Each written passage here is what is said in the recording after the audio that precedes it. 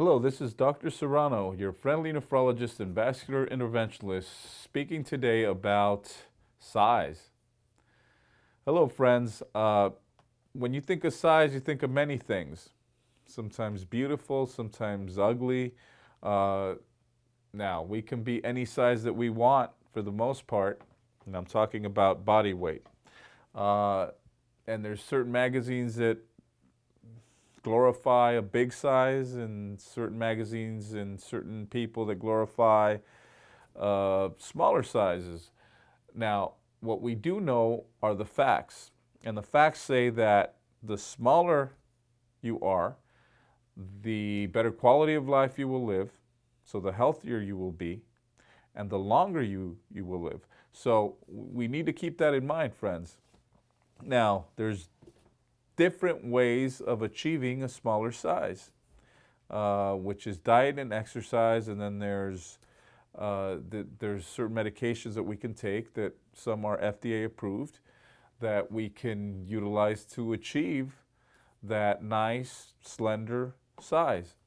Uh, there is such a thing as going a little bit too far, and we have to keep that in mind. Uh, we don't want to become anorexic. Uh, we know that independent of size, there are certain conditions that are unhealthy uh, beyond anorexia. I mean, if you're a drug addict or an alcoholic and you're not eating well and you become thin, that's not going to be associated with a long lifespan nor a good quality of life. Uh, but for the most part, if you are uh, at a good BMI, basic metabolic index, then you will enjoy a healthy life. Uh, so, how do we achieve this? Well, first, uh, diet is very important. It's probably the most important thing. Uh, it's greater than, I'd say, 60%, so over half, well over half, the contribution of how big you will be. Uh, initially, I would make it very simple there's so many diets out there that say, you know, you should have more protein in your diet or more car carbohydrates in your diet or you should diet in a, in a different way in different patterns. And I think the, the, the way to do it initially is whichever way that you know best. Uh, we can't get that picky. I would say just cut your calories in half. So if you're having a big plate of food in every meal and you're eating three times a day, then just cut that amount in half and you will notice how slowly you will begin to lose weight.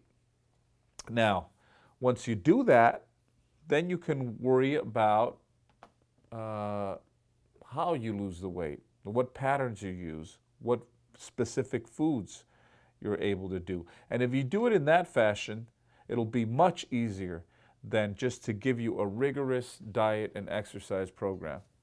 Um, so, uh, beyond diet, there's exercise, and exercise contributes to a good 30% or more of, of you getting to a smaller size. Uh, and in the same fashion, I would use your favorite exercise, whether it's running, jogging, swimming, whatever you'd like to do, to burn those calories and to, in that fashion, lose all the weight that you can. Now, I'm going to save my good tips for the next videos, but I want you to focus on simplistic facts first and simplistic methods so that you can achieve a smaller size, a better quality of life, and a longer lifespan.